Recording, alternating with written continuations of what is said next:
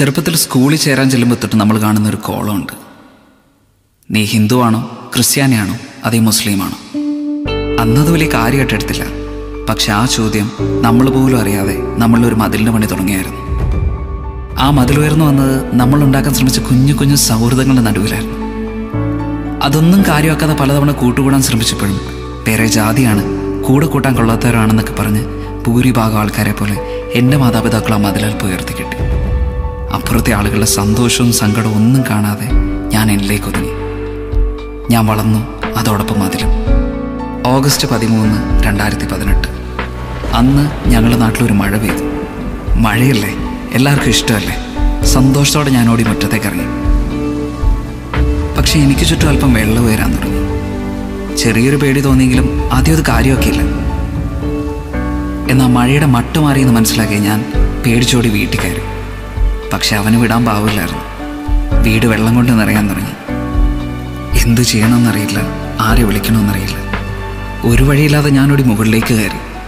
അന്ന് അവിടെ വെച്ച് ജീവിതത്തിൽ ആദ്യമായിട്ട് ഞാനൊരു കാഴ്ച കണ്ടു. പണക്കാരൻ പാവപ്പെട്ടവൻ പണ്ഡിതൻ പാമരൻ താണജാതി കൂടിയ ജാതി ജീവന് വേണ്ടിയുള്ള ഇവരുടെ എല്ലാ നിലവിളിക്ക് ഒരു സ്വരമായിരുന്നു. പോക പോക വെള്ളം നിറഞ്ഞ് പണ്ടുണ്ടാക്കിയ മതിലങ്ങ് മൂടി. അതോടെ അങ്ങനെ ഒരു മതിലുണ്ടായിരുന്നെന്ന് പോലും മറന്ന് ആളുകൾ ഒന്നിച്ചു കൂടാൻ തുടങ്ങി. സന്തോഷിക്കാൻ പാടില്ലാത്ത സമയത്ത് പോലും ഞാനല്പം സന്തോഷിച്ചു. കാരണം എന്റെ വീട്ടിൽ ആദ്യമായിട്ടാണ് അത്ര അതിഥികൾ ഒരുമിച്ചെത്തുന്നത്. ഞങ്ങൾ പരസ്പരം സംസാരിക്കാൻ തുടങ്ങി. രക്ഷപ്പെടാനുള്ള വഴികളെക്കുറിച്ച് ചിന്തിക്കാൻ തുടങ്ങി. ഭക്ഷണം പങ്കുവെക്കാൻ തുടങ്ങി. ഇതെല്ലാം എനിക്ക് പുതിയ അനുഭവങ്ങളായിരുന്നു.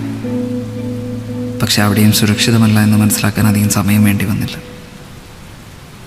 മഴയുടെ ശക്തി കൂടി വെള്ളം വീണ്ടും ഉയർന്നു. ഞങ്ങൾ ചുറ്റും നോക്കി രക്ഷിക്കാൻ ആരെയും കണ്ടില്ല. പോകെ പോകെ പ്രതീക്ഷ നഷ്ടപ്പെട്ടു. ഇനി ആരും വരില്ലെന്നുറപ്പിച്ച് സ്വയം തോൽവി സമ്മതിച്ച് കൈകൾ ചേർത്ത് പിടിച്ച് കണ്ണുകളിറക്കി ഞങ്ങൾ മരണത്തെ കാത്തു നിന്നു. പിന്നെ അവിടെ കേട്ട ആ ശബ്ദം ഞങ്ങളാരും ഒരിക്കലും മറക്കില്ല.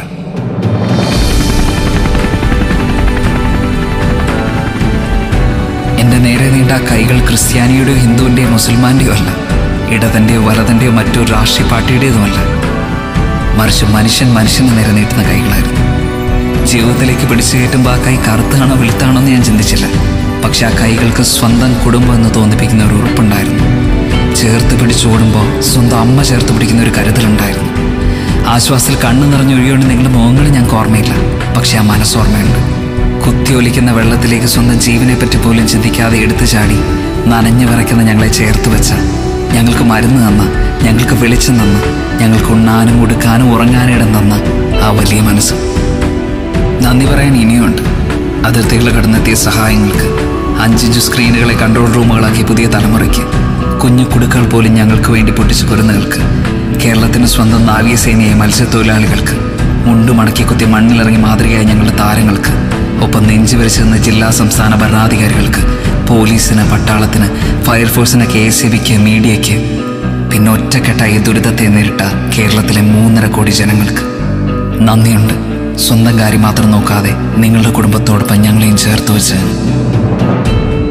ഞങ്ങൾ പലർക്കും ഉറ്റവരും ഉടയവരും പോയി. വീടുകൾ നഷ്ടമായി. പക്ഷെ ഞങ്ങൾക്ക് അറിയില്ല. കാരണം ഞങ്ങൾക്ക് ചുറ്റും ഇന്ന് മതിലില്ല. എല്ലാം ഒന്നിൽ നിന്ന് തുടങ്ങണമെന്ന് ഞങ്ങൾക്ക് നല്ല ബോധ്യമുണ്ട്. അത് ഞങ്ങൾ ചെയ്യുക തന്നെ ചെയ്യും. പക്ഷെ ആ മതിൽ പണിയാൻ ഇനി ഞങ്ങൾ സമ്മതിക്കില്ല. നമ്മൾ അതിജീവിക്കും. ഒറ്റക്കെട്ടായിട്ട്. കാരണം ഇത് കേരളമാണ്. ദൈവത്തിന്റെ സ്വന്തം നാടാണ്. തോൽക്കാൻ ഞങ്ങൾക്ക് മനസ്സില്ല.